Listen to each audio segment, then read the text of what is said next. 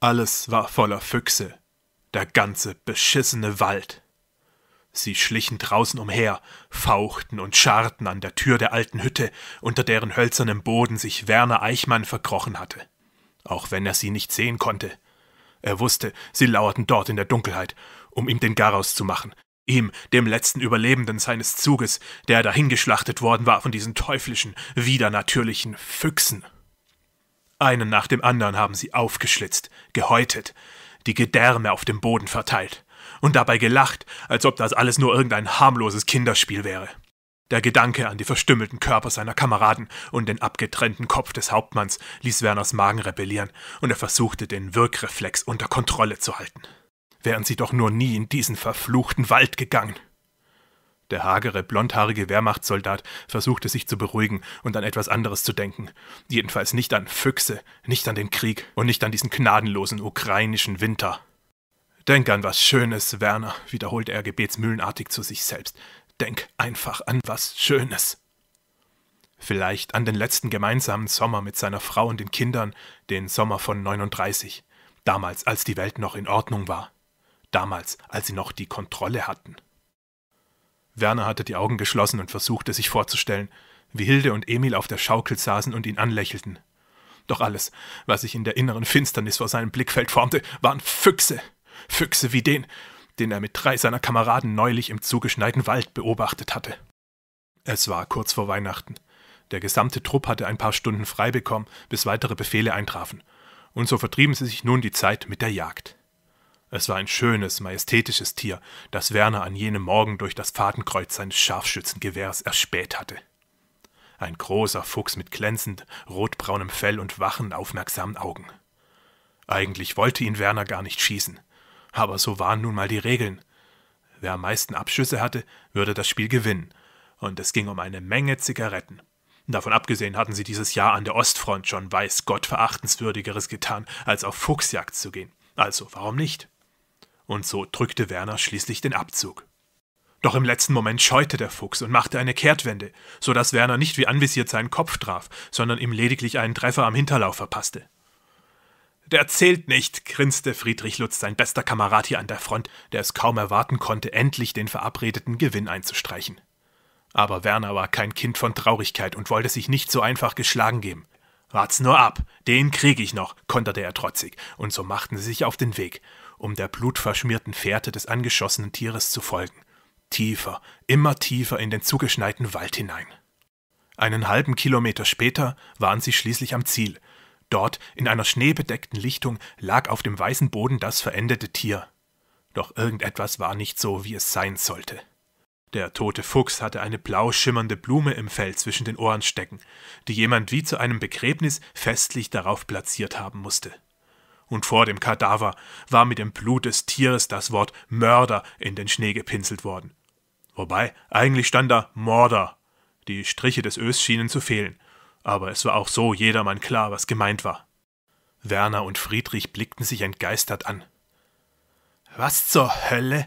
murmelte Friedrich, und auch Hans und Richard, die wenig später neugierig zu ihnen dazustießen, konnten sich auf das Ganze keinen Reim machen. Das ist kein Zufall, da steht definitiv Mörder, kommentierte Hans, während er seine Waffe entsicherte und nervös auf die sie umgebenden Bäume zielte. Besser, wir ziehen uns zurück.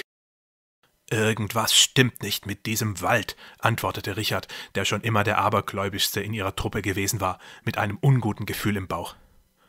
Wisst ihr noch, was der verrückte Alte im Dorf gesagt hat? Der Wald gehört den Füchsen, hat er gesagt. Und dass sie jeden grausam bestrafen werden, der ohne ihre Erlaubnis einen Fuß hineinsetzt. Der Wald gehört uns, Kameraden, stellte Friedrich ein für allemal klar, dem das Geschwätz der Einheimischen schon lange auf den Senkel ging. Jedenfalls solange wir hier sind.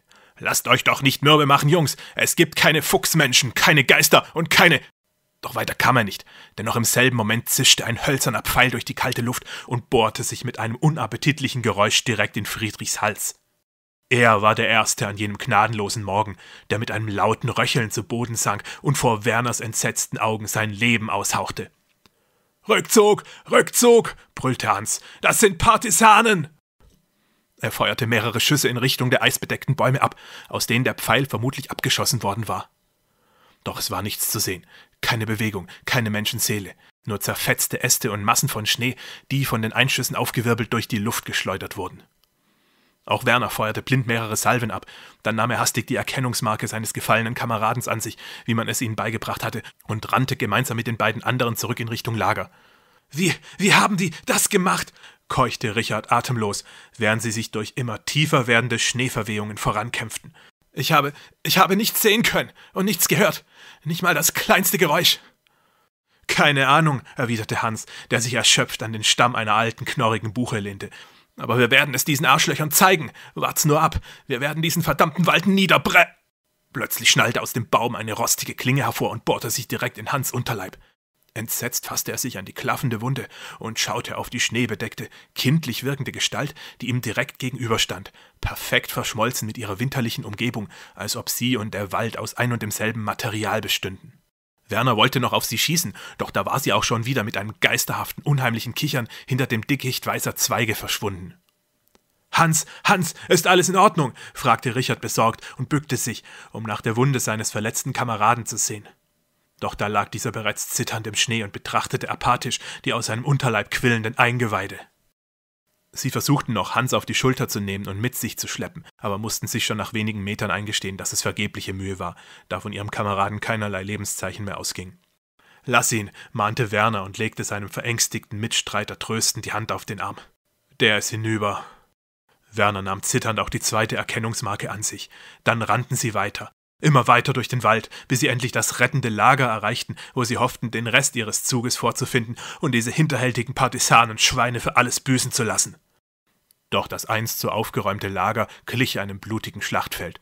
Die Leiber der Soldaten hingen kopfüber von ihren Fahrzeugen, lagen zerstückelt über den Boden verteilt oder waren an Bäume genagelt und ausgeweidet worden und in dem Topf, in dem vor wenigen Stunden noch Gulaschsuppe zubereitet worden war, schwamm der abgetrennte Kopf ihres Hauptmanns, noch immer wie im Moment seines Todes mit weit aufgerissenen, hervorquellenden Augen, die sich durch die Hitze der Suppe allmählich aus ihren Augenhöhlen zu lösen begannen.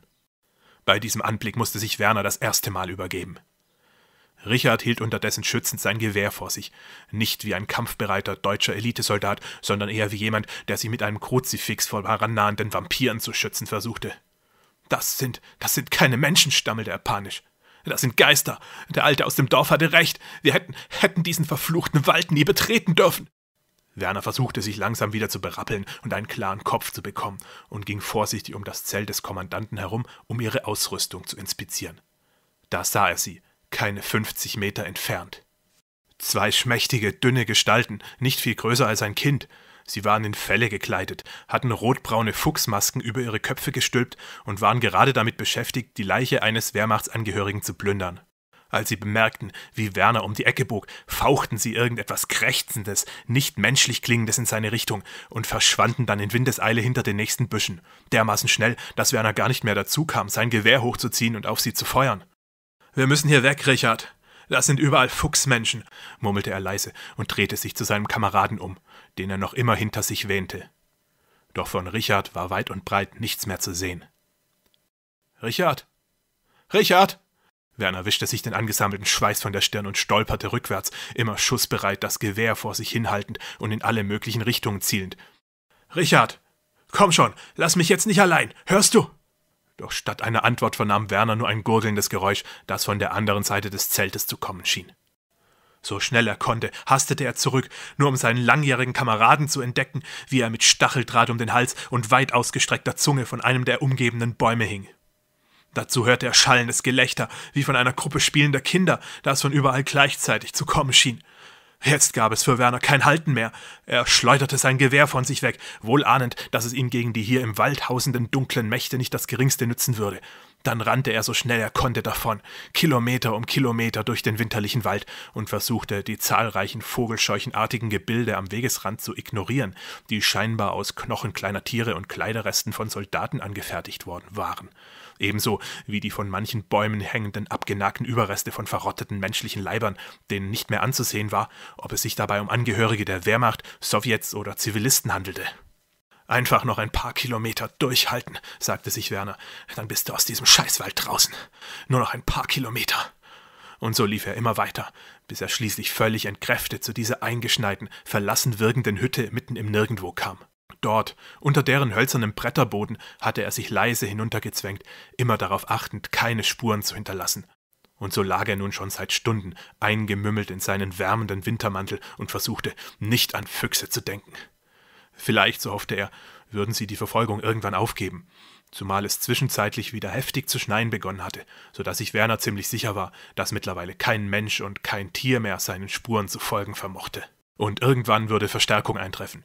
Man würde erfahren, was mit seiner Kompanie geschehen war, und einen Suchtrupp losschicken, der den ganzen Wald auf den Kopf stellen würde.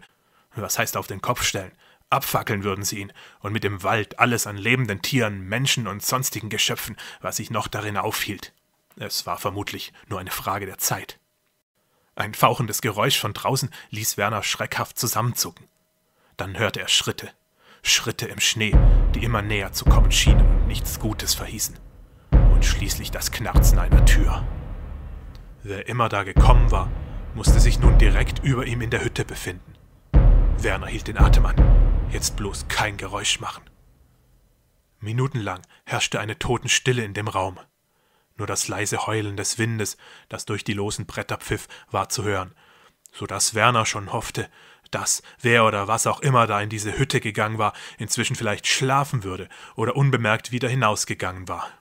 Doch dann klopfte auf einmal eine zarte Hand an die Holzdiele, die sich direkt überhalb seines Kopfes befand, und eine jugendlich wirkende Stimme sprach zu ihm in gebrochenem Deutsch Du bist Überlebenskünstler, weißt du? Bist der Letzte, der noch übrig. Werner hielt sich die Hand vor den Mund, damit niemand seinen aufgeregten Atem hören konnte. Am liebsten hätte er sich auch noch die Hände vor das Herz gehalten, denn es pochte so laut, dass Werner befürchtete, sein Herzschlag wäre noch auf mehrere Meter Entfernung wahrzunehmen. Bist nicht der Gesprächige, was? fuhr die Stimme in einem lockeren Tonfall fort. War nicht leicht, dich finden hier, weißt du? Meine Freunde und ich haben Spiel. Spiel darum, wer die meisten von euch abschlachtet. Gewinner bekommt Zigaretten, viele Zigaretten. Mit diesen Worten zog der unheimliche Kerl ein Messer aus seiner Tasche und kratzte damit verspielt über die hölzernen Balken. Dann grinste er. Ich mal wieder verloren. Bin schon drei Deutsche hinten und da bist nur noch du. Kann nicht mehr aufholen. Ich. Er wollte noch irgendetwas hinzufügen, stockte aber, als er von draußen einen strengen Ruf vernahm. Bist du endlich fertig? herrschte eine Stimme aus der verschneiten Waldlichtung nicht in gebrochenem Deutsch, sondern gehoben und ausdrucksstark wie die Stimme eines stolzen deutschen Offiziers. Ich muss gehen, flüsterte der junge Typ zu dem immer noch ängstlich unter der Hütte kauernden Werner. War eine gute Jagd, nicht wahr? Dann hörte Werner über sich die Türe zuschlagen. Hallo Janosch, sagte der Junge zu dem Älteren, der neu dazugekommen war. Bin fertig. Einer ist noch in Hütte, hat sich verkrochen. Soll ich ausräuchern? Nicht nötig, antwortete der andere Kerl mit dem guten Deutsch. Ihr habt heute eine ordentliche Arbeit abgeliefert, Jungs. Den Rest mache ich selbst. Geht zu deinen Freunden und dann macht euch aus dem fetten Hauptmann eine gute Suppe. Ist das Beste bei der Kälte. Ja, erwiderte der Junge und spuckte frustriert auf den Boden. Bin schon weg, hab eh verloren. Werner konnte es nicht fassen. Die Kerle schienen genau zu wissen, wo er sich befand. Er hatte seine Pistole aus dem Halfter genommen und überlegte einen Moment, was er jetzt tun sollte. Vielleicht hinausstürmen und es darauf ankommen lassen? oder warten in der Hoffnung, dass irgendein Wunder geschah und seine Verfolger noch einmal von ihm abließen? Vielleicht, vielleicht wäre es auch das Beste, die Waffe gegen sich selbst zu richten. Alles war besser, als von diesen, diesen Monstern in Fuchskostümen zur Suppe verarbeitet zu werden. Nein, so wollte er nicht enden, und so zählte Werner die ihm noch verbliebene Munition und lud seine Pistole durch. Doch gerade als er sie sich selbst an die Schläfe setzen wollte, bohrte sich die scharfe Klinge eines Wehrmachtdolches durch die Bretter über ihm, und eine gnadenlose Stimme rief triumphierend Gewonnen. Werner spürte einen stechenden Schmerz in seinem Kopf, und das Blut schien ihm aus sämtlichen Körperöffnungen zu laufen. Dann wurde es dunkel um ihn herum, und seine Seele versank in ewiger Finsternis.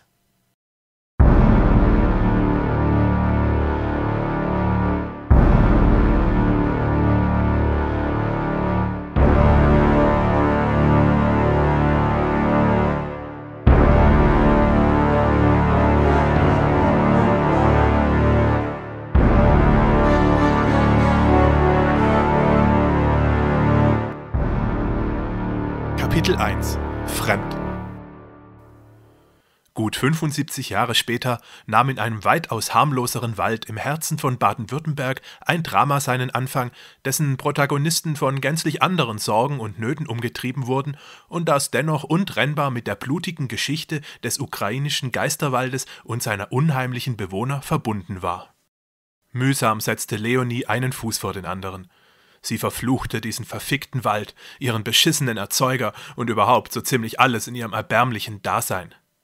Es hätte so viele Möglichkeiten gegeben, irgendwo in einer anderen zivilisierten Stadt neu anzufangen, irgendwo, wo die Nächte hell und die Wege kurz waren. Aber nein, ihr Vater musste ja ausgerechnet nach Kalbsbach ziehen, in die tiefste schwäbische Provinz, in der pünktlich um 18 Uhr die Bürgersteige hochgeklappt wurden und noch weit vor 22 Uhr auch der letzte Bus seinen Betrieb einstellte.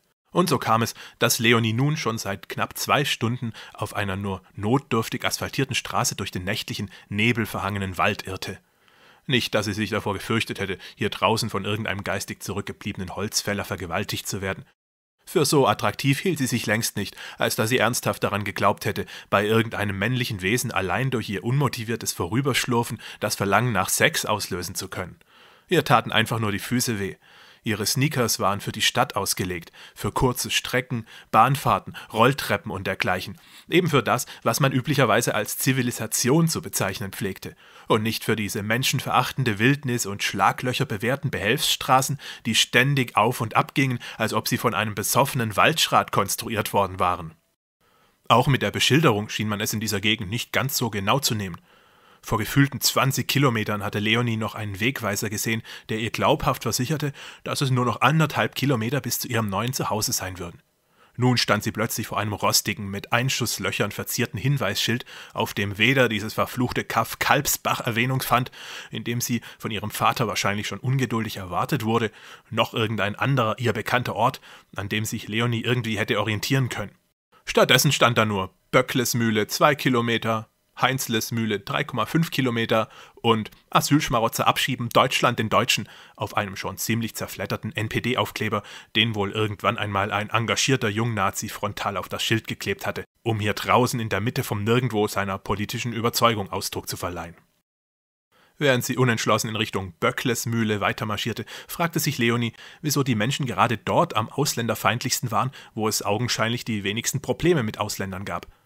Dort, wo sie herkam, an ihrer alten Schule in Gelsenkirchen, hätte sie es ja noch eher verstanden, wenn anlässlich von 80 Prozent Ausländeranteil der Unmut gegen die Überfremdung bei Mitschülern und Bevölkerung gewachsen wäre. Aber das komplette Gegenteil war der Fall. Deutsche und ausländische Jungs verstanden sich zumindest in ihrer Klasse prächtig, was ja eigentlich auch kein Wunder war, denn egal ob Türke, Russe oder Deutscher, Letztlich schienen sie sich alle darin einig zu sein, dass der Sinn des Lebens vornehmlich darin bestand, ein Stückchen cooler zu wirken als der Rest und die aktuellen Charts sowie die Ergebnisse der Fußball-Bundesliga auswendig herunterbeten zu können. Zu einigen Mädels aus ihrer Klasse hatte Leonie zwar ein etwas besseres Verhältnis, aber auch dort schien es eine Art stillschweigenden interkulturellen Konsens zu geben, wonach sich junge Frauen möglichst wie nymphomane Bahnhofsnutten zu kleiden hatten und sich insgeheim geschmeichelt fühlen mussten, wenn ihnen irgendein Testosteron triefender Ali, Sergei oder Kevin über den halben Schulhof hinweg zurief, was sie doch für einen geilen Arsch hätten. Zu Leonie hatte das schon seit der dritten Klasse keiner mehr gesagt, denn Leonie galt bei den meisten ihrer Mitschülern als eine Art drittes Geschlecht nicht zierlich und aufgetakelt genug, um als typisches Mädchen durchzugehen, und bei weitem nicht lustig und laut genug, als dass ihre männlichen Klassenkameraden sie als einen der ihren akzeptiert hätten. Tatsächlich konnte man Leonie mit ihren ungepflegten braunen Haaren und ihrer grundsätzlichen Abneigung gegen jede Art von Schminke und Körperschmuck auf den ersten Blick für einen schüchternen Jungen halten. Dazu kam dann noch ihr ständig etwas angepisst und unmotiviert wirkender Gesichtsausdruck, ein eher blasser Teint und die Tatsache, dass sie sowohl Jeans als auch Pullover immer in der Männerabteilung und meist auch ein paar Nummern zu groß kaufte, weil sie erst gar kein Interesse daran hatte, ihre durchaus vorhandenen weiblichen Körperformen in irgendeiner Weise zu Markte zu tragen. Niemand sollte sie auf ihr Aussehen reduzieren. Wenn, dann wollte Leonie um ihrer Gedanken willen geliebt werden. Das Tragische war nur eben, dass dies nicht geschah. Keiner interessierte sich für die Gedanken eines Mädchens, das eigentlich gar kein Mädchen sein wollte und sich am liebsten den ganzen Abend nur Serien auf Netflix reinzog oder stundenlang irgendwelche nicht jugendfreien Videospiele spielte, um vor der langweiligen Realität in düstere Fantasiewelten zu flüchten. Und niemand hatte für diese Realitätsflucht Verständnis. Weder Lehrer, Mitschüler und schon gar nicht ihr alleinerziehender Vater. Immer hieß es nur, geh doch mal ein bisschen an die frische Luft. Und dann nimm was mit deinen Klassenkameraden. Geh ins Jugendzentrum und mach einen Hip-Hop-Tanzkurs. Jeder schien einen Haufen guter Ratschläge für Leonie parat zu haben. Nicht ein einziger nahm sich mal Zeit dafür, sich hinzusetzen und einfach mal zuzuhören, warum Leonie so geworden ist, wie sie war. Denn für alles, was in Leonies Leben passierte, gab es einen triftigen Grund. Auch dafür, dass sie eines Tages eine ihrer Mitschülerinnen aus der Schlampenfraktion mit Schlägen traktierte, ihr ein riesiges Büschel Haare aus dem frisch frisierten Schädel riss und dann vor den Augen der gesamten Klasse versuchte, sie mit ihren eigenen Haaren zu strangulieren. Erst als die Schlampe schon blau angelaufen war, kam ein entsetzter Lehrer hinzugeeilt und verhinderte durch sein beherztes Eingreifen, dass sich Leonie ihre Zukunft vollends verbaute. Sie bekam lediglich einen vorübergehenden Schulverweis. Nichts Dramatisches eigentlich, aber für Leonies Vater dennoch Grund genug, das großstädtische Umfeld und die fehlende Nähe zur Natur für Leonies zunehmend aggressiver werdendes Verhalten verantwortlich zu machen. Und so beschloss er kurzerhand, ihre Eigentumswohnung zu verkaufen und in der schwäbischen Provinz, genauer gesagt in einem abgelegenen Ortsteil von Kalbsbach, wo ihnen Leonies verstorbener Großvater vor kurzem die Hälfte seines Hauses hinterlassen hatte, einen Neuanfang zu wagen. Warte doch erst mal ab, bis wir dort sind, hatte sie ihr Vater auf der Hinfahrt aufzumuntern versucht. Glaub mir, es wird dir gefallen. Du wolltest doch früher immer ein Pony haben, nicht wahr? Also, es gibt da ganz in der Nähe viele Bauernhöfe und da. Ich bin keine 13 mehr, Dad, hatte sie ihm vorwurfsvoll geantwortet. Ich bin fast 17. Aber ihr Vater ließ sich nicht beirren. Na und, Schätzchen, ich habe gehört, dass es Menschen geben soll, die auch mit 20 oder 30 noch Freude am Reiten empfinden. Außerdem, du willst doch nie so sein wie alle anderen und tun, was alle tun. Jetzt hast du die Gelegenheit dazu. Toll, danke, Dad. Vielen Dank. Ich hoffe, es gibt in dem Dreckskaff wenigstens Internet. Ihr Vater runzelte die Stirn. Nun, zumindest gibt es einen Telefonanschluss. Und wenn du mir zeigst, dass du das nächste halbe Jahr in der Schule keinen Mist baust und auch wieder etwas mehr für deine Mathe-Note tust, dann können wir meinetwegen auch über einen Internetzugang reden. Leonie erkannte gleich am Gesichtsausdruck ihres Vaters, dass Betteln oder Schimpfen keinen Zweck haben würde. Der Mann war vielleicht nicht der strengste und autoritärste Vater dieser Welt, aber wenn er sich erst einmal etwas in den Kopf gesetzt hatte, war seine Sturheit durchaus mit der von Leonie vergleichbar. Und so schwiegen sie sich den Rest der langen Autobahnfahrt gegenseitig an, und Leonie nahm sich vor, ihre neue Schule und alles, was sich in dieser Schule befand, abgrundtief zu hassen. Einfach schon aus Prinzip, genau wie sie auch alle Pferde und alle Bauernhöfe in diesem Dreckskaff hassen wollte. Die Regimekritiker, die im alten Russland vom Zar oder Stalin nach Sibirien verbannt worden waren, sagten schließlich auch nicht, oh toll, da gibt es so viel Natur, schöne Bäume und wunderbare Pferde. Nein, sie waren vermutlich eher traurig oder wütend, dass andere Menschen darüber bestimmen durften, wo sie zu leben hatten. Und genauso fühlte sich nun auch Leonie, vom bösen Zaren aus purer Willkür ins Exil verbannt, ausgestoßen, gebrandmarkt und geächtet. Der erste Tag an der neuen Schule bestätigte dann auch gleich ihre schlimmsten Befürchtungen. Jeder kannte jeden, nur Leonie kannte logischerweise niemanden. Verglichen mit den pubertierenden Möchtegern-Gangstern, mit denen sich Leonie an ihrer alten Schule herumschlagen durfte, wirkten die männlichen Jugendlichen in ihrer neuen Klasse teilweise drei oder vier Jahre entwicklungsverzögert, als ob sie aus Versehen zu früh eingeschult worden waren. Der andere Teil erweckte dafür zum Ausgleich eher den gegenteiligen Eindruck.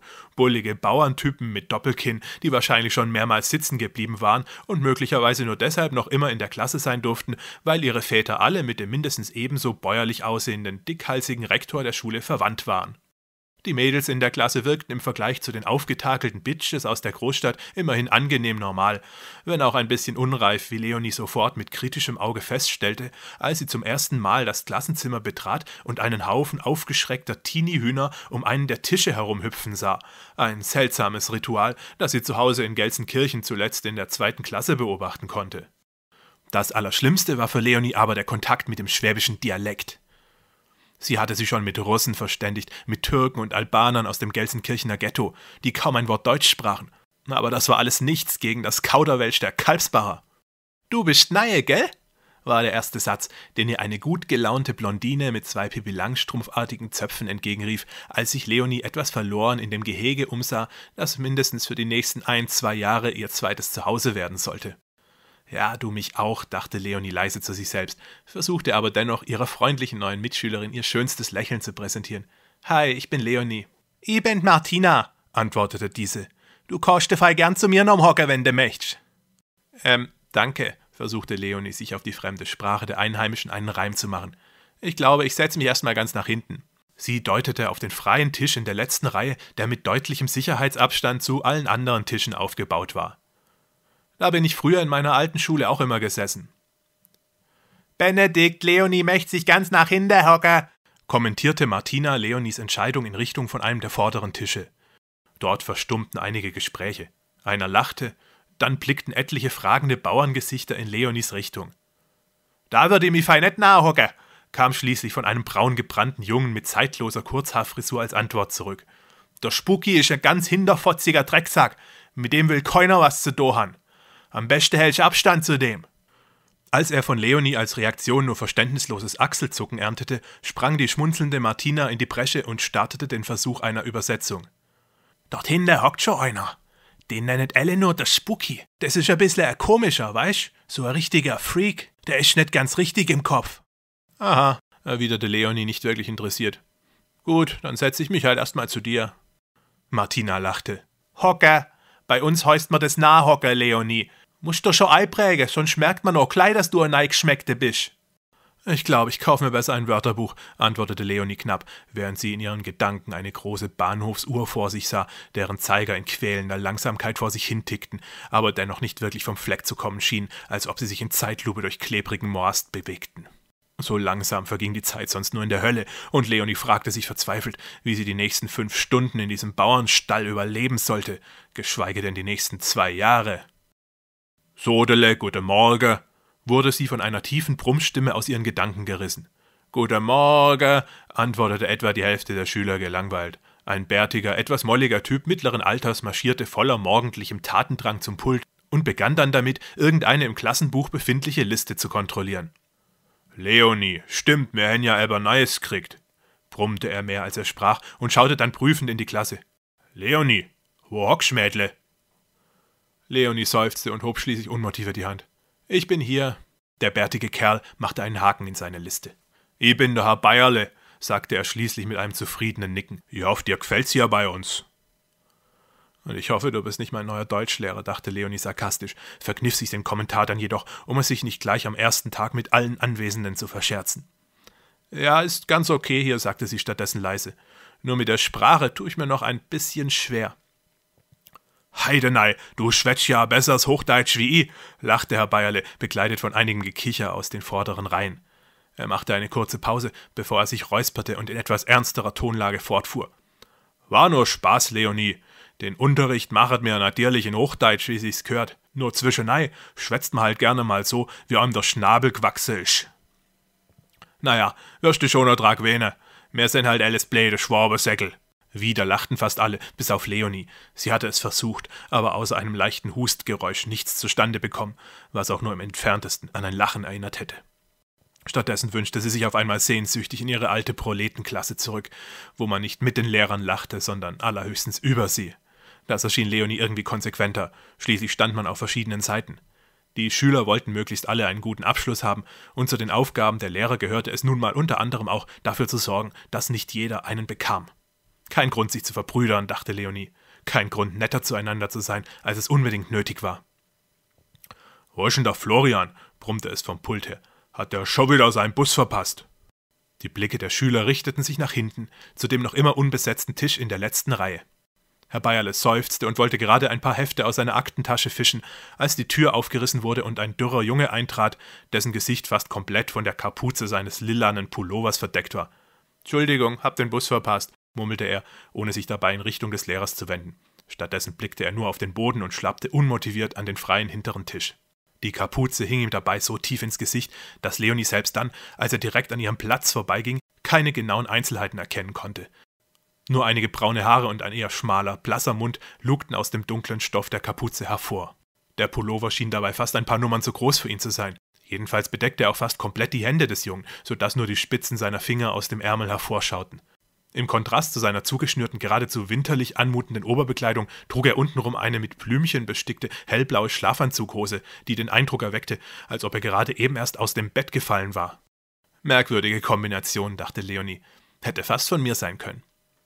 Menschen, die sich keinem Modediktat unterwarfen, waren ihr schon mal grundsätzlich nicht völlig unsympathisch. Erst recht, wenn sie modemäßig so dermaßen daneben lagen, als ob sie der Geschmack ihrer Zeitgenossen nicht das geringste anging. Das ist er, flüsterte Martina, als der Junge an ihrer Bank vorübergegangen war und sich ganz hinten auf seinen Stuhl fallen ließ. Das ist der Florian. Aber Elle saget nur Spooky zu ihm. Warum eigentlich? fragte Leonie verwundert. Weil er ein bisschen unheimlich ist, wurde sie von Martina belehrt.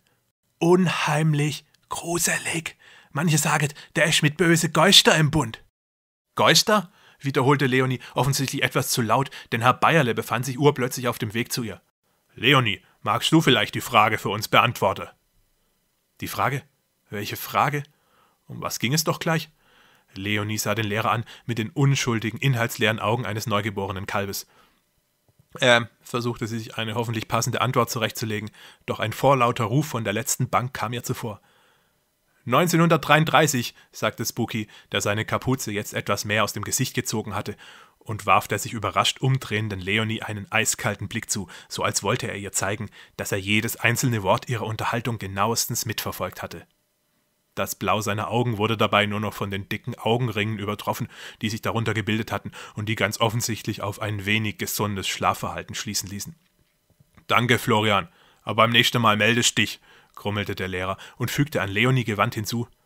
Und du schwätsch nicht so viel, Herrgott, zack. Musst doch einen guten Eindruck machen an deinem ersten Tag. Entschuldigung, flüsterten Leonie und Christina beinahe gleichzeitig. Während Herr Bayerle zurück an die Tafel stapfte und dabei irgendwas von Ermächtigungsgesetz und Reichstagsbrand faselte, dämmerte Leonie, dass es sich bei Herrn Bayerle vermutlich nicht um den Deutsch, sondern um den Geschichtslehrer handelte. Sie versuchte, sich irgendwie auf seinen monotonen Singsang zu konzentrieren, konnte es sich aber nicht verkneifen, immer mal wieder unauffällig zu dem merkwürdigen Jungen am hintersten Tisch zu schielen. Zwei, dreimal begegneten sich ihre Blicke flüchtig, aber Leonie wandte sich dann jedes Mal wieder schnell von ihm ab auch wenn sie nicht viel auf das Gerede ihrer abergläubischen Nebensitzerin gab, aber irgendwie hatten Spookys Augen tatsächlich etwas Unheimliches an sich, als ob sie eine Art Scanner eingebaut hätten, mit dessen Hilfe man unter Leonies Klamotten ihre Brüste erkennen konnte. Vielleicht nannte man ihn ja deshalb Spooky, überlegte Leonie, weil er komisch klotzte und ja, was tat er da eigentlich die ganze Zeit mit seinen Händen, wenn er Leonies neugierige Blicke einmal nicht rechtzeitig bemerkt hatte, um sie zu kontern? Er hielt ganz offensichtlich irgendeine Perlenkette in seinen Händen. Ab und zu bewegten sich auch stumm seine Lippen, als ob er ein geheimes Mantra herunterbeten würde oder sich in eine Art Trance versetzte. Herr Bayerle schien sich daran jedenfalls nicht sonderlich zu stören, oder er hatte sich an die Macken des seltsamen Jungen längst gewöhnt. Auch die anderen Mitschüler schienen nicht wirklich Notiz von ihm zu nehmen, selbst dann nicht, als Spookys Kopf urplötzlich mit einem dumpfen Schlaggeräusch auf dem Tisch aufschlug, wonach er sich schmerzend und sichtbar übermüdet die Stirn rieb. Leonie hatte keine Ahnung, ob er kurzzeitig eingeschlafen war oder sich mit dieser Aktion absichtlich selbst verletzen wollte, um wach zu bleiben. Aber sie wusste, was man zu einem von seiner Sorte an ihrer alten Schule gesagt hätte. Der wird sicher nachts von seinem Daddy gebumst. Irgendwie gemein, aber die Sitten waren rau in Gelsenkirchen. Ein greller Lichtstrahl riss Leonie aus ihren Erinnerungen. Da kam von hinten ein Auto auf der Straße entlang gefahren, mindestens schon das zweite innerhalb der letzten halben Stunde. Leonie stellte sich an den Fahrbahnrand und wandte ihre Augen von dem aufdringlichen Lichtkegel ab, bis das Gefährt endlich wieder hinter der nächsten Kurve verschwunden war. Sie nahm sich vor, falls in absehbarer Zeit noch einmal ein Wagen vorbeikäme, würde sie ihn anhalten und zumindest mal nach dem Weg fragen, oder besser gleich höflich bitten, ob man sie ein Stückchen mitnehmen könnte. Auch wenn Leonie ihrem Vater versprochen hatte, nicht einfach so zu fremden Leuten ins Auto zu steigen, sie hatte ihm ebenfalls versprochen, bis spätestens Mitternacht zu Hause zu sein. Und wenn sie nun durch die äußeren Umstände dazu gezwungen war, sich zwischen einem dieser beiden heiligen Versprechen entscheiden zu müssen, so wollte sie im Zweifelsfall lieber jenes einhalten, durch das ihr weniger Blasen an den Füßen entstehen würden. Leonie überlegte, ob es das alles wert gewesen war, die schmerzenden Füße, das drohende Donnerwetter, wenn sie zu spät nach Hause kam, die theoretische Chance, in diesem verdammten Dreckswald noch tagelang umherzuirren und schließlich an Erschöpfung zu sterben. Und das alles nur, weil sie unbedingt meinte, aus lauter Langeweile am späten Nachmittag noch mit dem Bus in den nächstgrößeren Ort fahren zu müssen, wo es Martinas Worten zufolge immerhin einen Mediamarkt geben würde. Leider entpuppte sich der angebliche Mediamarkt als biederes Elektrofachgeschäft mit völlig überhöhten Preisen und einer Computerspielauswahl, die vermutlich noch aus dem letzten Jahrhundert stammte. Die Imbissbude in dem aus einem Discounter und drei Werkshallen bestehenden Industriegebiet entpuppte sich als schlechter Witz mit versalzenen Pommes und der miesesten Currywurst, die Leonie in ihrem ganzen Leben gegessen hatte und die nichts anderes zu sein schien als eine stinknormale, in einem Haufen Curry-Ketchup ertränkte Bockwurst. Und schließlich entpuppte sich der Nachtfahrplan an der Bushaltestelle als ein leeres Blatt Papier hinter einer Klarsichthülle, auf die irgendwer einen Pimmel und ein grottenschlechtes Graffiti gemalt hatte. Leonie hätte nur zu gerne noch Verreckt doch alle ihr scheiß Schwaben dazu geschrieben aber dummerweise hatte sie gerade keinen Stift dabei. Der Nebel schien dichter zu werden. Natürlich war Leonie auch in Gelsenkirchen schon des Öfteren mit nächtlichem Nebel konfrontiert worden, aber der Nebel in der Stadt war anders. Stadtnebel war durchflutet von künstlichem Licht, auch wenn er den ständigen Verkehrslärm angenehm dämmte, empfand ihn Leonie doch nie als einen Teil der Natur, er senkte sich auf die Häuser hernieder, und die Stadt machte ihn sofort zu ihrem Eigentum, zu etwas Zivilisiertem, zu etwas, was Teil der industrialisierten, modernen Wohlstandswelt war. Der Nebel hier draußen hingegen war urwüchsig und geheimnisvoll. Man konnte förmlich dabei zusehen, wie er aus den am Boden liegenden Ästen und Gräsern gekrochen kam und sich wabernd in alle Himmelsrichtungen ausbreitete. Dieser Nebel ließ sich nicht in Besitz nehmen. Es kam Leonie vielmehr so vor, als würde er nach und nach vom gesamten Wald Besitz ergreifen und von allem, was er sonst noch zu fassen bekam. Leonie war beileibe keine ängstliche Natur. Sie schaute für ihr Leben gern Horrorfilme und wusste nahezu alles, was es über Serienkiller, Zombies und Vampire zu wissen gab. Aber wirklich gruseln tat sie sich dabei längst nicht mehr. Anders als gewisse Gutmenschen Pädagogen behaupteten, wurde man durch das Betrachten solcher Filme nämlich nicht zum gewalttätigen Psychopathen. Je mehr man vielmehr von ihnen sah, desto mehr verstand man als einigermaßen vernunftbegabter Zuschauer auch die Mechanismen, nach denen solche Filme funktionierten. Irgendwann fing man dann an, zwischen guten und schlechten Filmen zu unterscheiden, zwischen aufwendigen und billigen Splatter-Effekten und zwischen glaubwürdigen und miesen schauspielerischen Leistungen. Man achtete auf die Originalität der Schocksequenzen und freute sich, wenn irgendwann mal kein maskierter Psychokiller hinterm Duschvorhang lauerte, wie schon so oft, sondern stattdessen völlig unerwartet eine Krallenhand aus dem Abfluss hervorschnellte. Leonie vermutete ohnehin, dass die alten Säcke, die sich immer über gewalttätige Filme und Computerspiele aufregten, in Wahrheit psychisch viel labiler waren als diejenigen, um deren Entwicklung sie sich angeblich Sorgen machten. Sie regten sich über gestellte Szenen auf, ängstigten sich vor irrealen Gewaltdarstellungen, die einem modernen Durchschnittsteenager höchstens ein unterdrücktes Gähnen oder einen dämlichen Spruch entlocken würden. Wenn überhaupt, dann waren es zweifellos die Alten, die man vor solchen Filmen schützen musste, weil ihre spießigen Schäfchenhirne nie richtig gelernt haben, zwischen Realität und Fiktion zu unterscheiden, wie es für die allermeisten medienerfahrenen Jugendlichen in Leonis Alter längst völlig selbstverständlich war. Leonie blieb stehen und betrachtete nachdenklich die dunklen, von Nebelschwaden umschlungenen Baumstämme am Rand des Weges. Das ist ganz normale Natur, versuchte sich Leonie zu beruhigen auch wenn in vielen Horrorfilmen Kids aus der Stadt in Nächten wie diesen auf dem Land abmassakriert wurden. Das waren eben Filme, und die Regisseure benutzten Elemente wie Nebel oder dunklen Wald ganz bewusst, um mit den schlechten Sichtverhältnissen und damit mit menschlichen Urängsten zu spielen.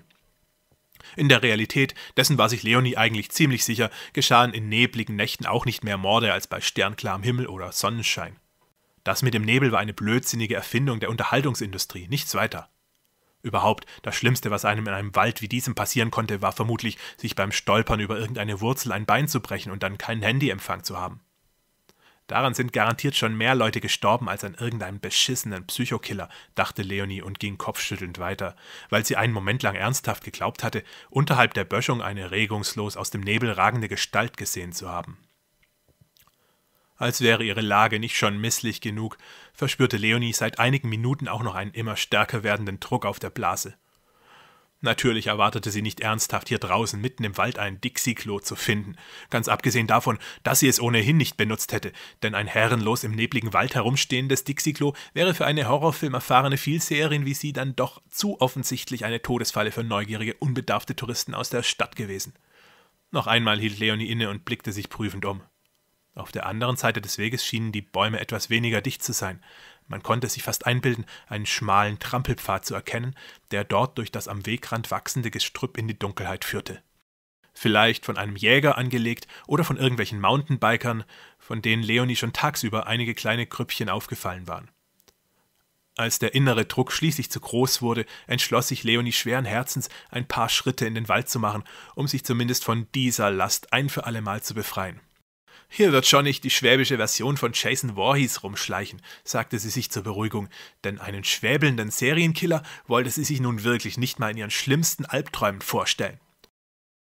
Brauchst fein nicht wegrennen, Mädle. Ich krieg dir ja eh, und dann hau ich doch so eine an Goschna, dass du das dein Lebtag nimmer vergiss. Nein, Leonie war sich eigentlich ziemlich sicher, dass sie sofort in schallendes Gelächter ausbrechen müsste, wenn plötzlich so ein Bauer mit Mistgabel und Inzestgesicht vor ihr stehen und laut schimpfend auf sie losgehen würde. Und still und heimlich morden wie die Typen aus den Filmen. Nach allem, was Leonie in den letzten Tagen von der debilen schwäbischen Landbevölkerung mitbekommen hatte, würden die es nicht mal schaffen, sich bis auf zehn Meter an sie heranzuschleichen, ohne ihr Vorhaben nicht zumindest mit einem erwartungsfrohen Sodele zu kommentieren. Man brauchte einfach auch irgendwie Stil, um Serienkiller zu sein, und Leute mit Stil hatte Leonie in Kalbsbach bislang nun wirklich nicht allzu viele kennengelernt. Hinter einem Busch in der Nähe eines desolaten Jägerstands begab sich Leonie schließlich in Position – so dass sie durch das Laub der Blätter zwar immer noch die Straße im Auge hatte, aber sich dennoch ziemlich sicher sein konnte, dass sie von einem eventuell entlangfahrenden Auto nicht gesehen werden würde. Dann streifte sie ihre Hose herunter und ging angestrengt in die Hocke, darum bemüht, an irgendwas Erfreulicheres zu denken, was ihr in dieser gruseligen, unzivilisierten Umgebung jedoch alles andere als leicht fiel. Während schon die ersten Spritzer heißgelber Flüssigkeit aus ihrer Blase schossen, blickte Leonie noch einmal skeptisch in alle Richtungen, um sicherzustellen, dass sich nicht irgendwo in ihrer unmittelbaren Nachbarschaft ein Bau von irgendwelchen ekligen Krabbeltieren befand. Und erschrak fast zu Tode, denn dort in ihrem Rücken, kaum drei Meter von ihr entfernt, hockte eine in Schatten gehüllte, dunkle Gestalt. Sie lehnte nahezu regungslos an einem Baum und tat nichts, außer Leonie mit einem funkelnden Blick anzustarren. Wer bist du? Was willst du von mir? schrie Leonie hysterisch und pisste sich dabei aus Versehen über die eigene Hose. Dann hüpfte sie aus der Hocke nach oben, unschlüssig, ob es sinnvoller war, die Flucht zu ergreifen oder dem unbekannten Perversling erst noch die Fresse zu polieren, um gleich von vornherein klarzustellen, dass sie kein hilflos mit den Augen rollendes Klischeeopfer sein würde. Die Frage ist doch eher, was willst du von mir? kam auf einmal von der unheimlichen Gestalt als Antwort zurück. Ich sitze hier schon seit zwei Stunden lausche dem Frieden hier im Wald, und auf einmal kommst du, stöhnst obszön rum und streckst mir deinen nackten Arsch entgegen. Jetzt erst erkannte Leonie, dass es sich bei dem vermeintlichen Spanner um Spooky handelte, ihren schrägen neuen Klassenkameraden, der noch immer denselben dunklen Kapuzenpulli vom Morgen trug, aber seinen Schlafanzug inzwischen gegen eine schwarze Jogginghose eingetauscht hatte. Kein Wunder, dass er in der Dunkelheit so schwer zu erkennen gewesen war. Wie bitte? konterte Leonie nicht auf den Mund gefallen. Soll das ein Witz sein? Du wirst wohl kaum so bescheuert sein, ohne Grund zwei Stunden im Wald zu sitzen und. Sie schaute ihm giftig in die Augen, doch er blickte nur ausweichend auf den Waldboden. Doch, wahrscheinlich bist du wirklich so bescheuert, korrigierte sich Leonie und machte sicherheitshalber zwei unauffällige Schritte nach hinten, um für den Fall der Fälle einen kleinen Vorsprung zu haben. Der Typ passte immerhin genau ins Raster eines Serienkillers. Er verhielt sich schon in der Schule wie ein potenzieller Amokläufer, sprach ganz offensichtlich kein Schwäbisch und irgendwie hatte er auch Stil.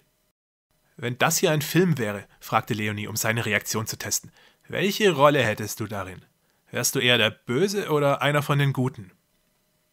Daraufhin hob der merkwürdige Junge seinen Kopf und schob ein wenig seine Kapuze samt Haare nach hinten, damit sie besser in seine Augen blicken konnte. Wenn das hier ein Film wäre, würden sie die Szene rausschneiden, meinte er leise, mit einem Anflug von Lächeln im Gesicht. Niemand da draußen steht auf Heldinnen, die sich in die Hose pissen. Auch wenn sie das tunlichst vermeiden wollte, spürte Leonie, wie ihr Gesicht rot anlief, so wie zuletzt vermutlich in der dritten Klasse, als sie einer der Jungs auf dem Pausenhof gefragt hatte, ob sie ihn gern einmal küssen möchte.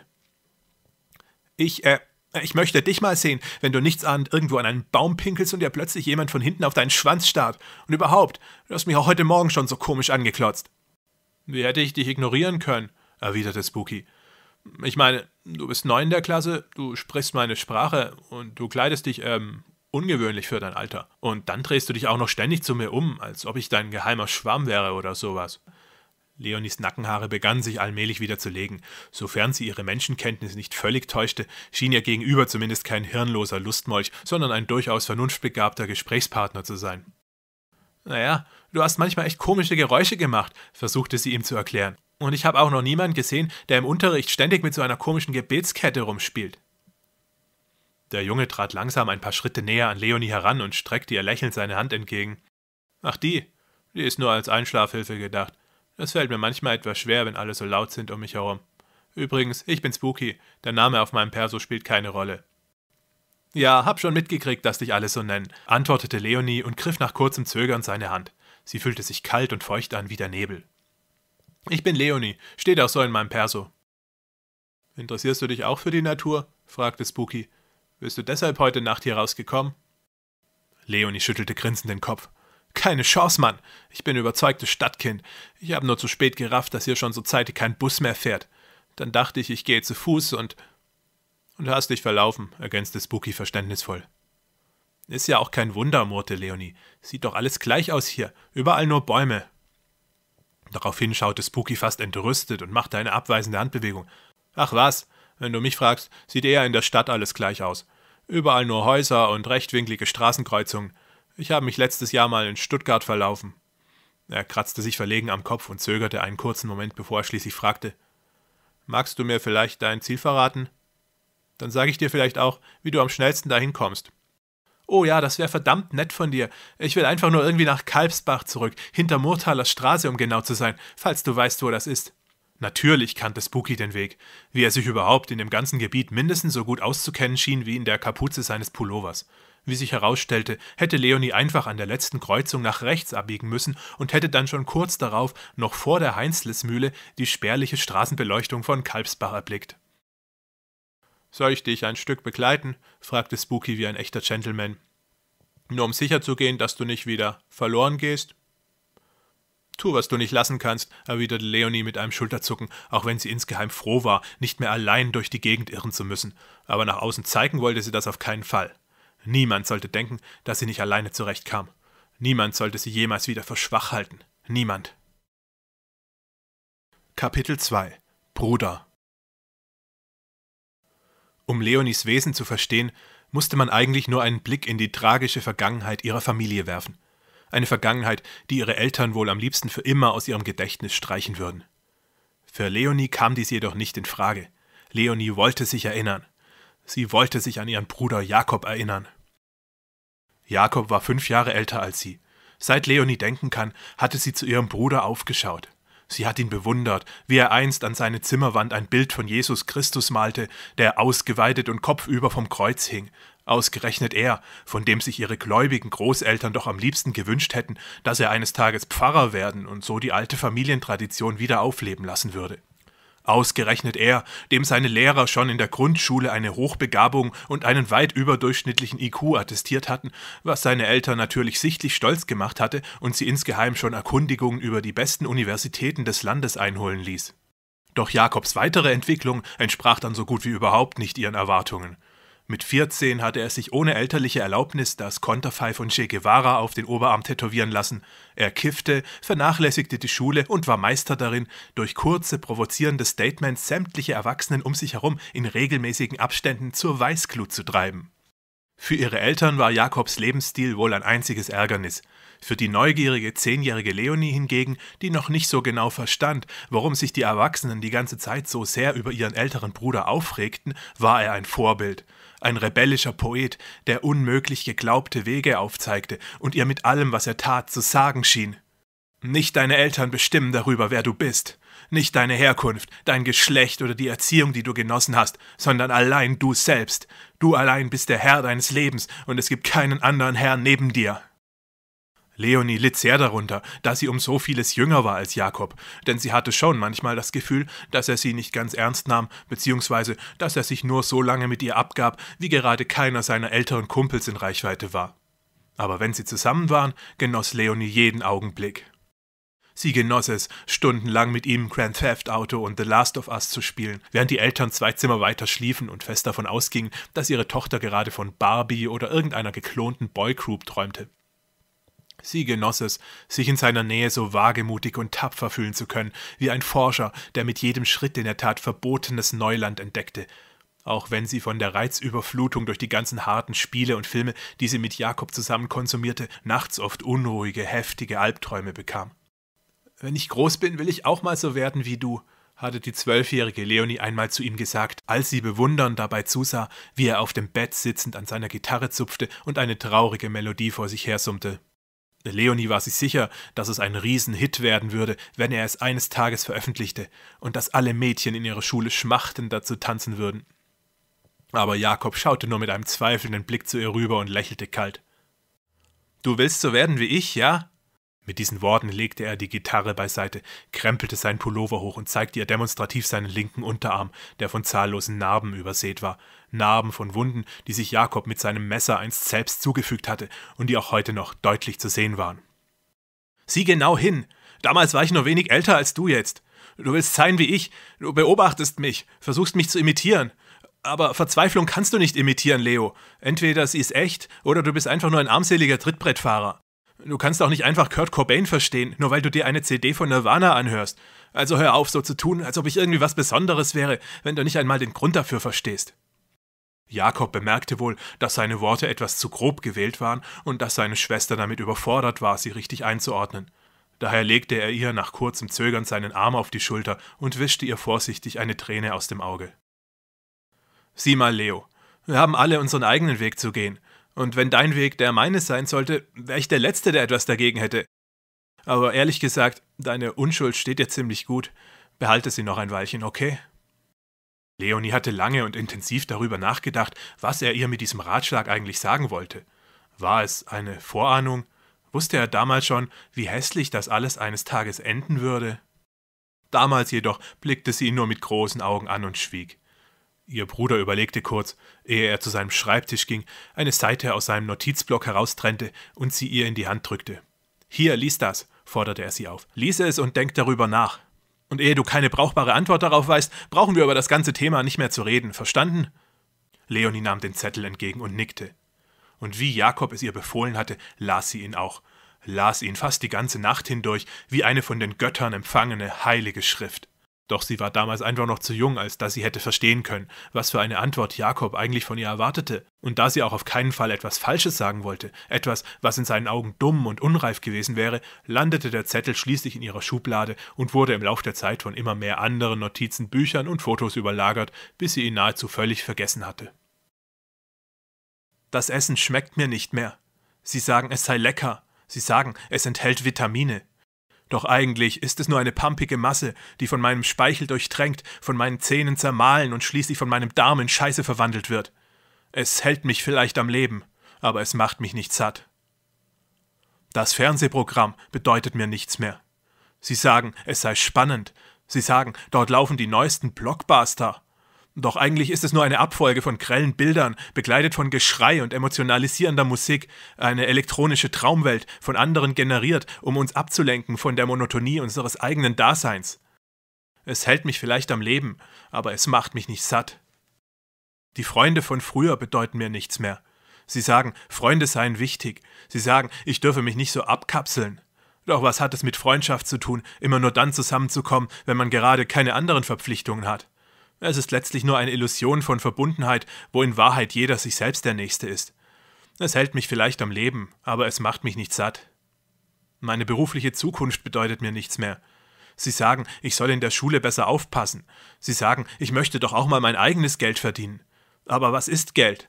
Doch letztlich nur tote Materie, mit der ich mir andere tote Materie kaufe, um noch mehr zu essen zu haben, noch mehr Fernsehkanäle empfangen zu können und noch mehr Freunde zu beeindrucken. Es hält mich vielleicht am Leben, aber es macht mich nicht satt. Nicht einmal meine Träume sind mehr von Bedeutung für mich. Sie sind nur noch ein Sprungbrett in die einzig wahre Wirklichkeit, in die Welt hinter der Welt. Die Leute sagen, real ist nur das, was man fotografieren und messen kann.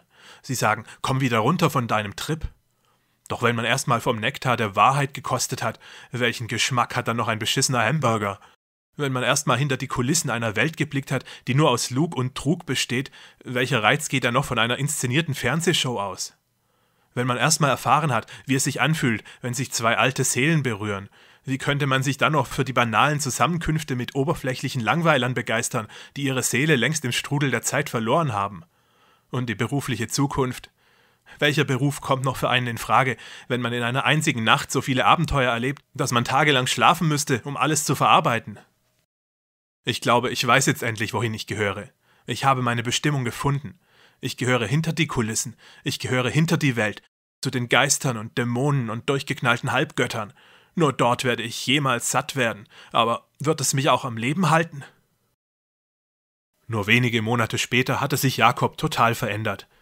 Er lachte nicht mehr, aß kaum noch und sperrte sich in den Ferien manchmal tagelang in seinem Zimmer ein, anstatt wie früher mit seinen Punk-Freunden um die Häuser zu ziehen und irgendwelchen Unsinn anzustellen. Er war jetzt 18 Jahre alt, Leonie gerade 13 geworden. Leonie und er sprachen kaum noch miteinander. Sie surfte in jeder freien Minute im Internet und pflegte ihre oberflächlichen Online-Bekanntschaften, die wesentlich stressfreier waren als alles, was Leonie aus der realen Welt gewohnt war. Jakob hingegen schaute keine Filme mehr, Er hatte Computer und Telefon abgestöpselt und draußen vor seinem Zimmer auf den Flur gestellt. Was er den ganzen Tag trieb, konnte Leonie nur vermuten. Er las in merkwürdigen, esoterischen Büchern, hatte überall im Zimmer Kerzen aufgestellt, und wenn man ihn störte oder es auch nur wagte, mal kurz an seiner Tür zu klopfen, konnte er regelrecht ausrasten.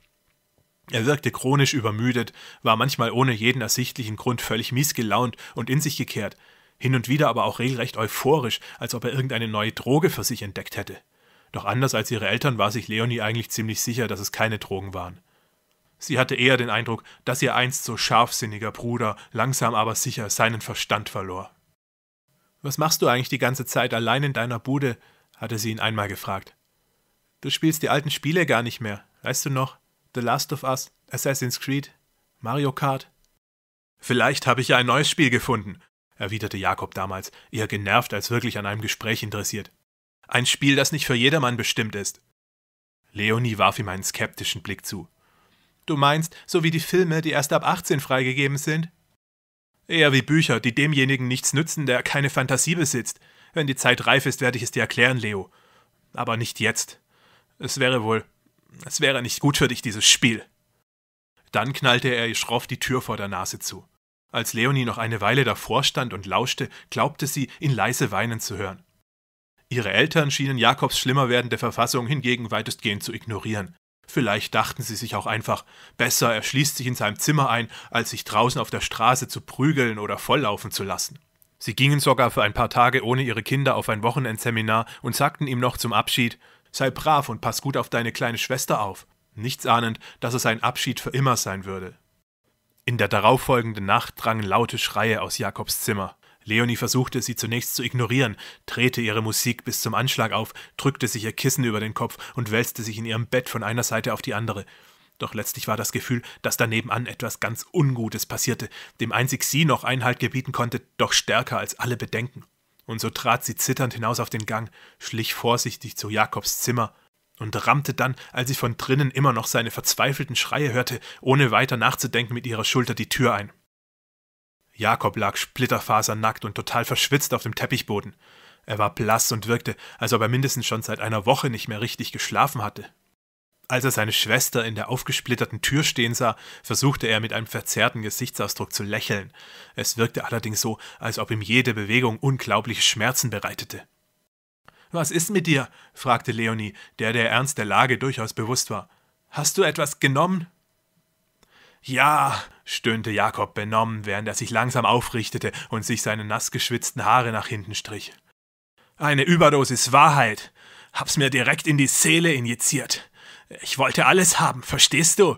Nicht nur die wenigen Krümel, die uns die Götter in ihrer Gnade zugestanden haben. Und jetzt bin ich wohl bald einer von ihnen. Ein Gott.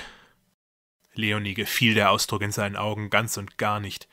Das war nicht mehr der freche, rebellische Teenager, mit dem sie sich früher nächtelang Filme reingezogen oder virtuelle Schlachten geliefert hatte.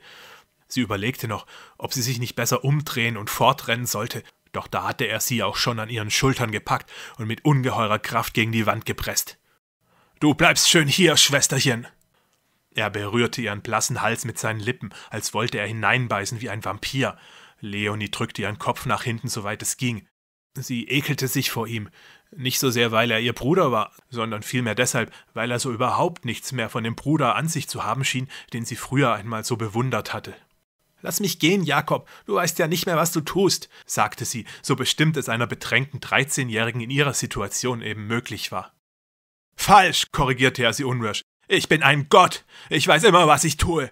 Du weißt nicht, was ich tue, weil du nur ein ahnungsloser Mensch bist.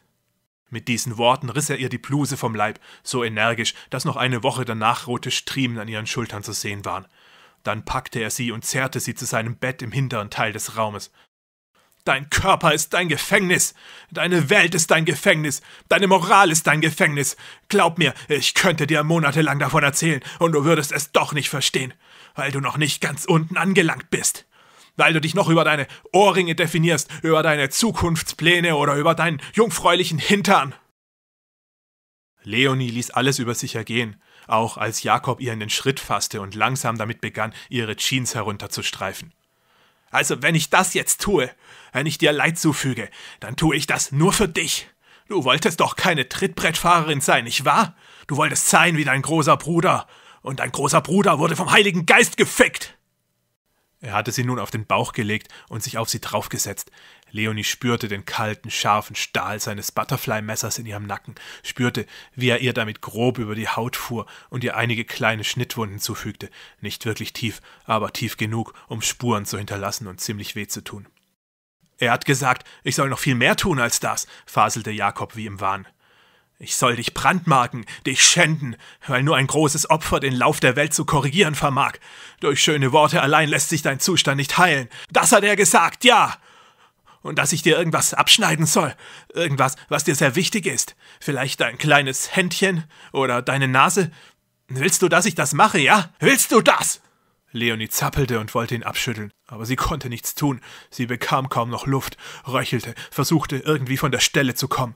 Doch Jakob drückte ihren Kopf unbarmherzig gegen sein Kissen. Fühlt sich beschissen an, nicht wahr? stöhnte er mit heiserer Stimme, während seine kalte Klinge unter ihr Höschen wanderte. Fühlt sich an wie etwas, für das du noch lange nicht bereit bist, meinst du nicht auch? Und das ist nur ein kleiner Vorgeschmack auf die ganze Wahrheit. Sie spürte seine Haut auf ihrer Haut, spürte die kalte Klinge zwischen ihren Beinen. Dann ließ er auf einmal von ihr ab, drehte sie um wie einen nassen Sack und wischte ihr mit seiner Hand den Speichel aus dem Gesicht. Such besser nicht nach der Wahrheit, Schwesterchen.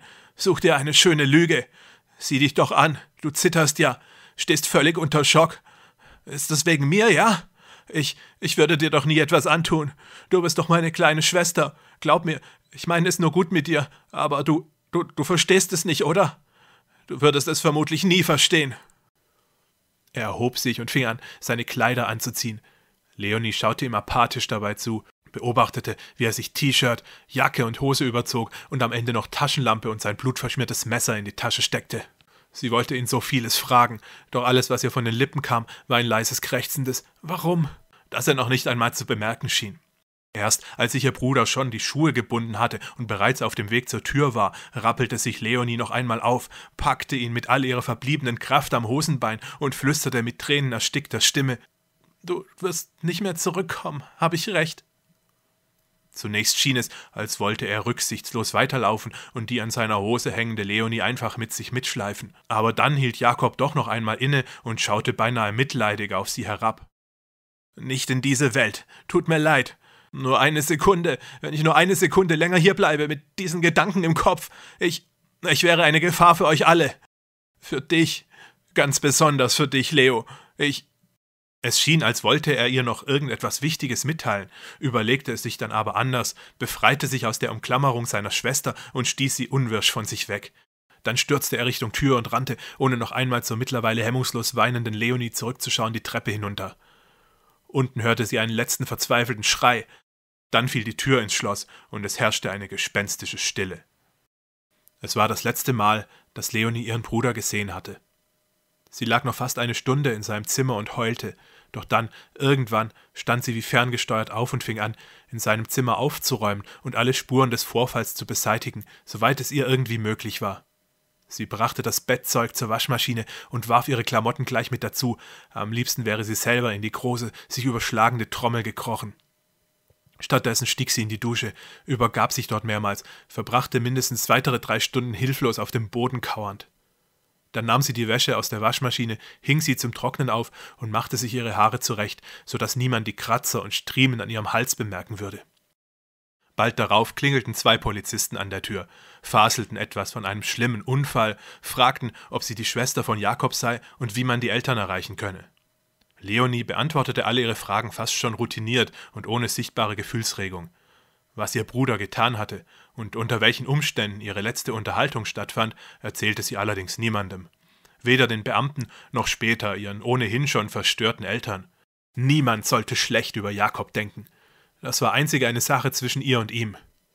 War es Körperverletzung, eine versuchte Vergewaltigung, oder wollte er ihr irgendeine grausame Art von Lektion erteilen? Wie immer man das auch juristisch nennen würde, wie es die Erwachsenen nennen würden.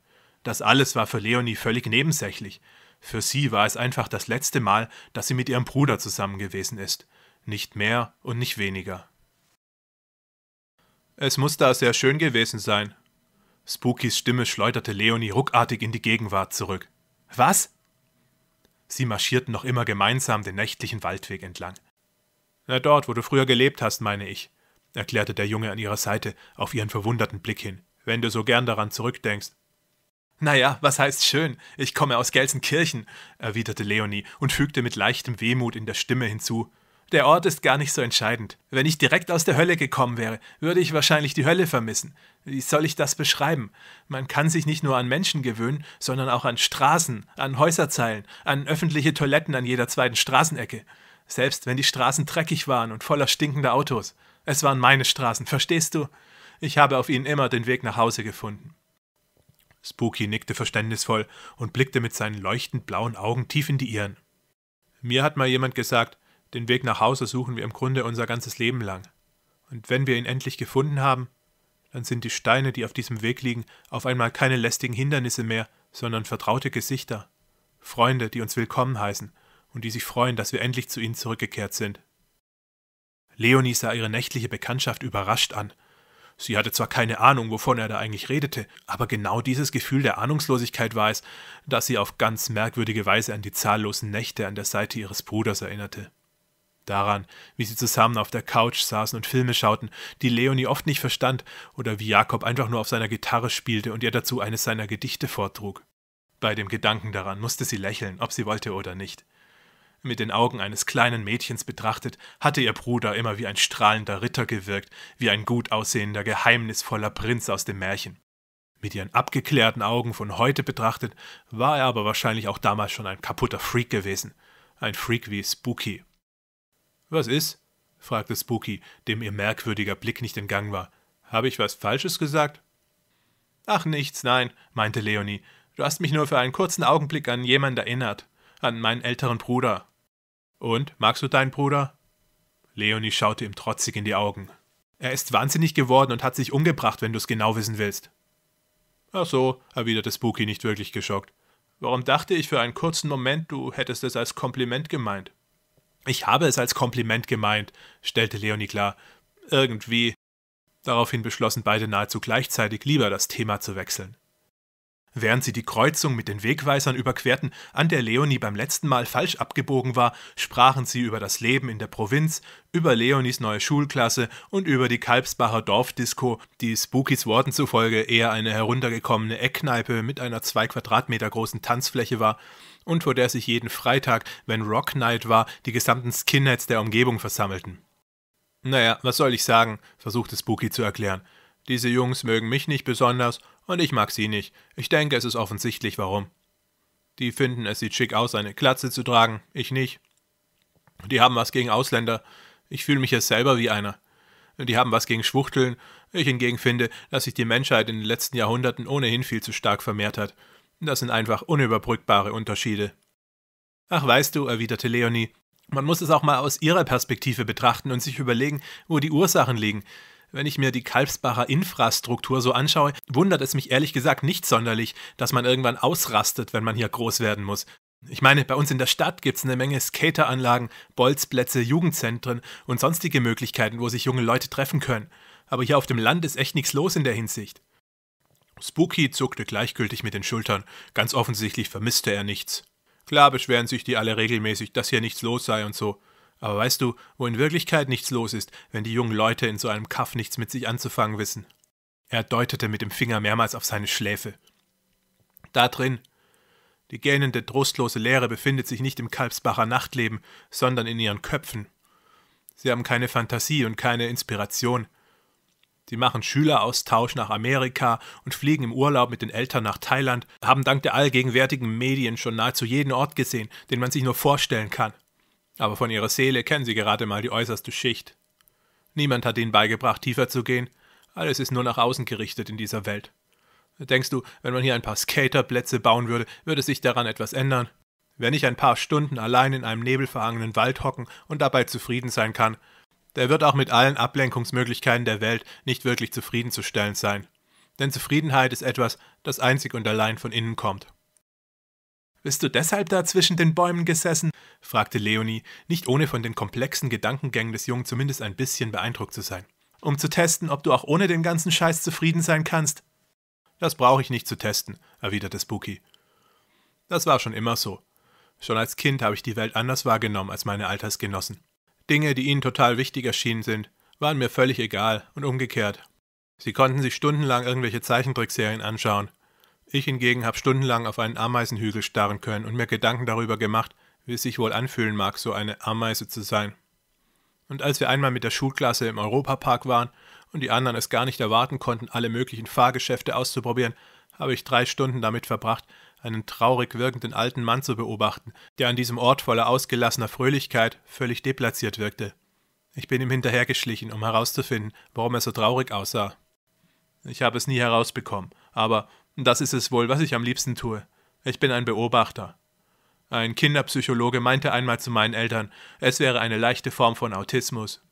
Und? fragte Leonie interessiert, denkst du, er hatte recht? Bist du so eine Art Autist?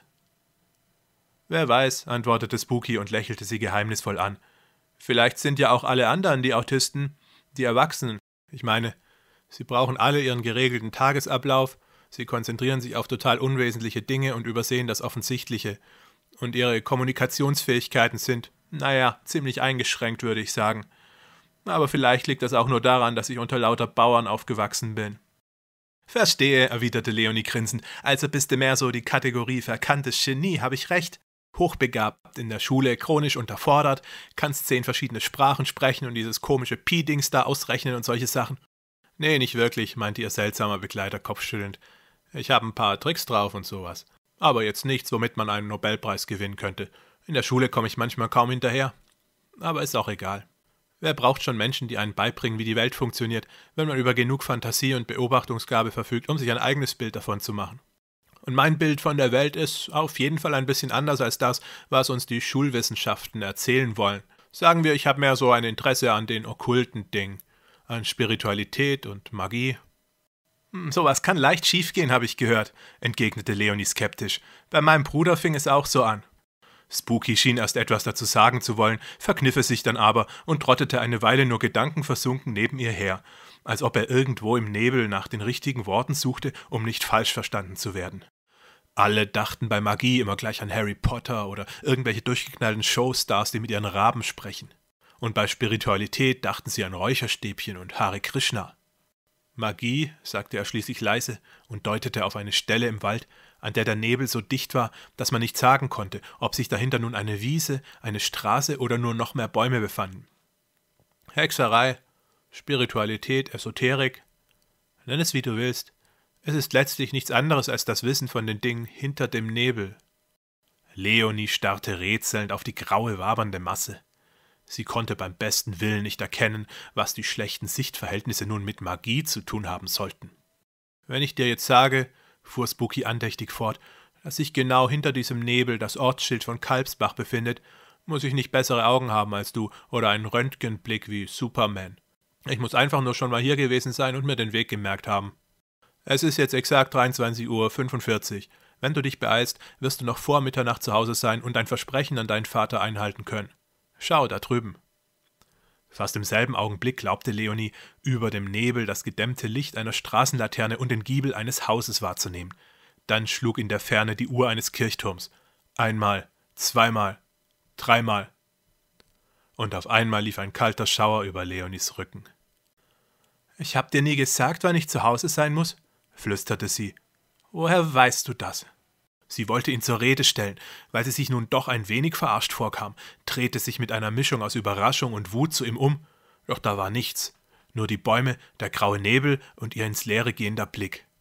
Spooky jedoch blieb verschwunden, wie vom Erdboden verschluckt. Magie, ja klar, rief Leonie in die menschenleere Dunkelheit.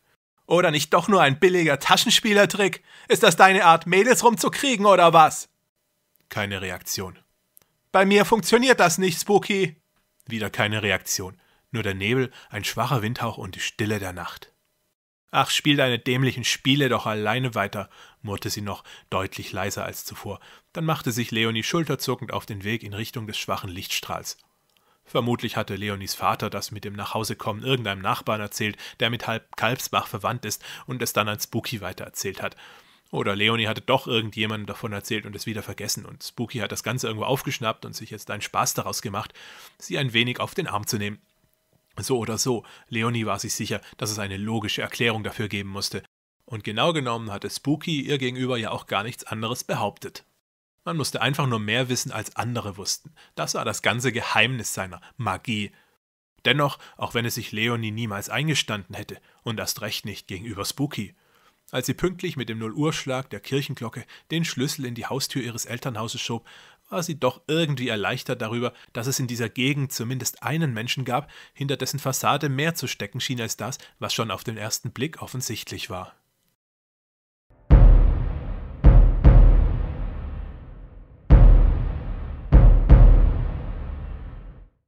So, meine Lieben, das waren die ersten beiden Kapitel von meinem neuen Roman Traumwandler bzw. Unity 5. Falls ihr bis hierher noch nicht eingeschlafen seid und wissen möchtet, wie die Story weitergeht, könnt ihr euch das komplette Werk im E-Book-Format oder als PDF runterladen. Natürlich wie immer völlig kostenlos und unverbindlich. Im Übrigen sind inzwischen auch alle meine alten Bücher E-Book-tauglich umgerüstet worden, die ihr ebenfalls zusammen mit weiteren Infos auf meiner Homepage finden könnt. Schaut einfach mal vorbei auf www.dienthesaint.de. Macht's gut und viel Spaß beim Schmökern, euer Dien.